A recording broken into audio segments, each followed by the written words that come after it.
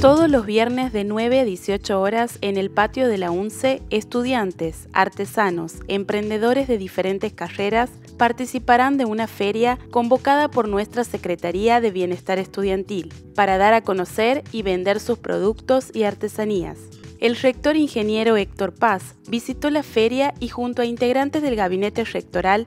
felicitaron a los estudiantes por el espíritu emprendedor y las ganas de participar de un espacio que valora la economía popular y las actividades culturales en beneficio de nuestra comunidad universitaria.